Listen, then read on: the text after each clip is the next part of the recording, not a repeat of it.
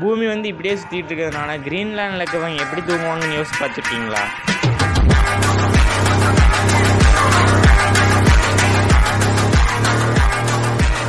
Video பார்க்க நீங்கள் தமிழ்நாட்டிலேருந்து பார்த்துட்டு இருந்தீங்க அப்படின்னா மறக்காமல் சேனல் சப்ஸ்கிரைப் பண்ணிக்கோங்க.